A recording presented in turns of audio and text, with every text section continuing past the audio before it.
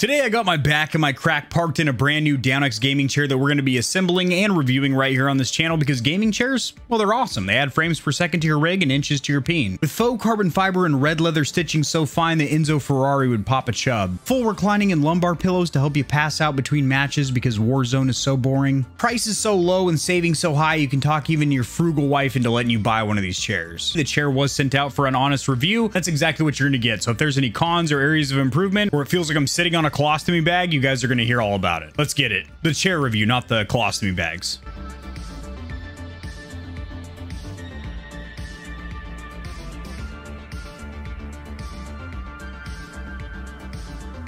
As much as I like this thing right now, they're a lot more comfortable when they're not box shape. So let's do that now. You guys are more than welcome to kick it with me while I assemble this bad boy and watch American Reunion. I know my key demographic is my age, old and gray, but for you youngsters out there, check out the American Pie series. Not the new series like Bandcamp and Book of Love, but the original trilogy. Mm, absolute bangers. That is a lot better than what you usually get with these gaming chairs. Let me tell you, sister. Full pictures, a little bit of color in there, very descriptive, good font. English is the primary language. Talking kind of loud so you don't pick up the sound of the movie, which will be a DMCA strike. Nice, this is great.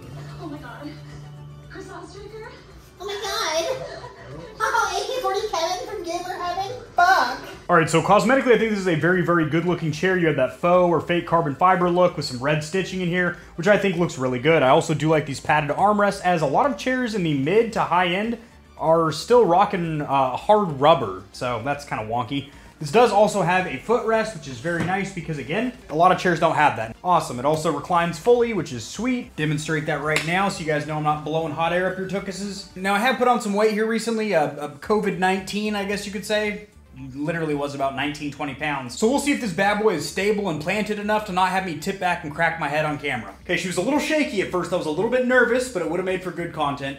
This is incredibly comfortable. The padding in not only the back, but also the crack is quite good. I have tested gaming chairs in the past that have either good padding in the crack or the back, but when you have it in the back and the crack, that's that is uh, a treat. Get that mic a little bit closer to my suck hole. There we go. So right now this is without the lumbar or neck pillow, which hardly anybody would actually sit in this chair like that.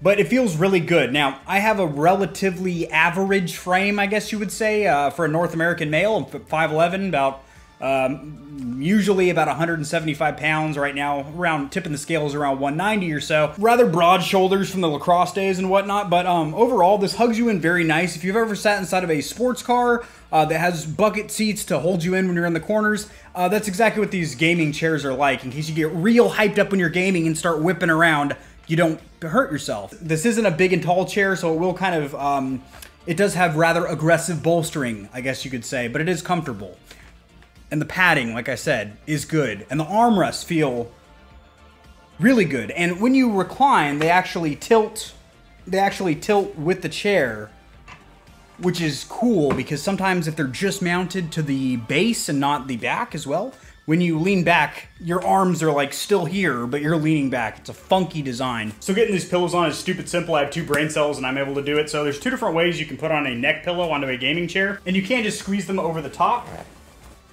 like that, and that's kind of going to support the back of the crown of your skull. Uh, or if you want it a little bit lower in your neck region, which I generally prefer, so my head is on the chair, but my neck is getting supported as well, you can go ahead and unbuckle the clasp here, just like you're undoing a bra.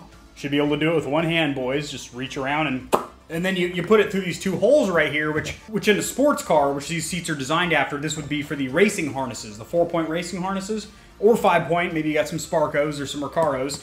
My car guys are nodding along right now, like, ah, this guy knows what he's talking about. Give her the old one-two buckle my shoe. Mm-hmm, mm-hmm. Put this one up here, actually. Give her a little butter. Now, this bad boy here, as you can see, it's got a couple of straps. What you're going to do is you're going to unbuckle both of them. And you might be wondering, Kevin, what is that USB cable? Does it have built-in power tools or something? Um, it's not a jigsaw or a drill or anything like that. You still need to go to Home Depot for that. But um, what it does is a massage function. Now, massage function in chairs is usually a total gimmick, to be 110% honest. I have two other gaming chairs that have it, and I turn it on uh, maybe on Easter Sunday just to loosen up the spine, but generally you're not going to use it. Um, yeah, let's get this on here. So what you do is you just put the buckle through the hole, right there through the rump or the tuchus of the chair. There we go, yep. And then you're gonna buckle it, like that. Gorgeous, sweetheart, gorgeous. Also, that cable that I showed you earlier does disconnect. If you aren't gonna be using that functionality, you can uh, go ahead and scrap that. So how you adjust the lumbar pillow is you just lift her up and down to get it centered in the small of your back. See, this little cord that's dangling right here, I would uh, unzip the back there and tuck that it and tuck that inside the pillow, which I'm gonna do right now, because I don't want this wire just kind of loosely hanging out. Not only does it look silly, but if you bump into it with your back or your elbow, it's not gonna feel too great. Get in the hole. Sometimes you gotta use your big boy voice with it. There we go.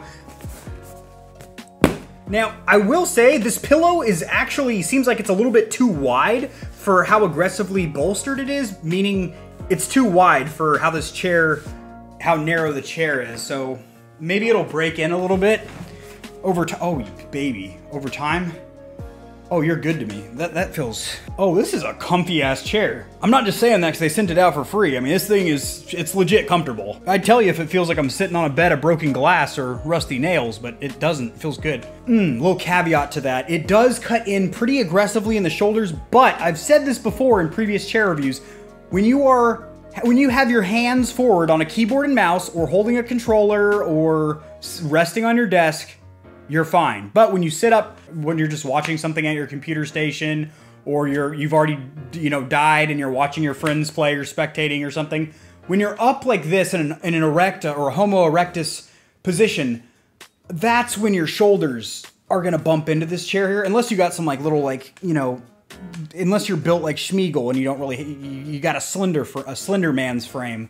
But for you, you big stallions out there, your shoulders are gonna bump into there. If you got a couple of deltoids looking like bowling balls, you're definitely gonna be bumping into this bad boy. But, like I said, 90% of the time you're sitting in one of these gaming chairs, you're probably gaming or video editing. You're doing something where your hands are forward, not up back like that. Back to the cosmetics, I really do like how sleek and subtle the logos on here. All these gaming chair companies plaster their logos or emblems all over the lumbar and uh, neck support pillows. This one is black stitching. It just blends in. It's clean. It's understated. It's classy, which I like. I don't like a whole lot of branding and whatnot. What you can do is you can go on to Amazon. I will have a couple linked in the description below. In addition to in addition to the chair here, um, they have generic, nameless, brandless pillows that have no logos or whatever. And um, that way you can kind of clean up your setup a little bit. Or what you could do is get yourself a custom patch made with your logo for you streamers out there and get that plastered right there on the head of your gaming chair, and that way you have a custom chair basically. It's got your logo on it, so little, little picante small touches, you know, to make your setup muy caliente. Rosetta Stone. So this bad boy does have a rocking feature, which I have engaged right now. But if you want to cut that out, you just still rocks a little bit, but that's off. That's on. Sweet. Yeah. Yeah, yeah. Yeah, yeah, yeah, yeah, yeah, yeah. I'll see you guys back in the gamer heaven to wrap this thing up. Alrighty, Stallions, where can you buy these chairs? Well, you have two options. You have Amazon and then you have their website. So this is their Amazon landing page over here. And as you can see, there's a pretty fair selection and the prices are virtually identical to what they are over on their website. However, if you do go to their website, there is a slightly larger selection and you do have access to their coupon codes, which are going on right now. And some of these are pretty, pretty thick three C's. $30 off over 150, $70 off over 300. And these models here, these are very premium quality materials, as you can tell. This one's like a nice, I don't know how many cows died, went for a ride, and then gave their hide for these chairs, but these look very nice. That red, that burgundy one is pretty sick too. And oh, the buttercream one as well. I'm hungry now. So I personally do like their color patterns because they're really subtle. They're not bright pink. They're not, uh, you know, they're not lime green. They're kind of like a nice buttercream uh, nice subtle grays and golds and like just like really classy colors in my opinion. Oh, girl, she come with the chair? Good lord. All right, this guy's got surgical gloves while he games. I like it. A lot of intensity. Pomeranians don't make good gamers. They don't have opposable thumbs. They can't grip a controller. Everyone knows that. She did not buy that chair with her own money. I guarantee you that. And then over here on Amazon as well. And I will have the chair that I tested in this video linked in the description below, as well as this landing page and their website. So you have multiple options as to where to pick up one of these bad boys. And like I mentioned, there are coupon codes available on their website currently. They couldn't do any additional promotions for the Stallions here in the stable at Gamer Heaven uh, on top of what they're already running right now due to Black Friday. But, you know, you got these ones. Overall, this chair is freakishly comfortable. Um, I also do like the styling, like I mentioned, because they're really subtle. And the fact that this has all the features that I personally look for. Padded armrests, a leg rest, and an actual good quality lumbar and neck pillow. All gaming chairs, even $80 generic Amazon specials come with a lumbar and neck pillow, but half the time they feel like you got a damn sandbag strapped to your neck, or you've got like a little tiny boxer just socking you in the kidneys, like they're not comfortable.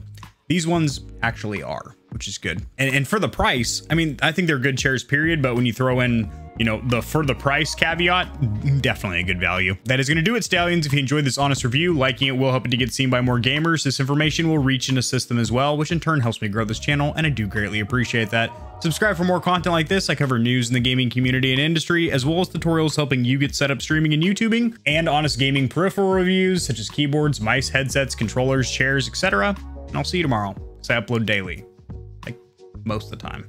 Peace.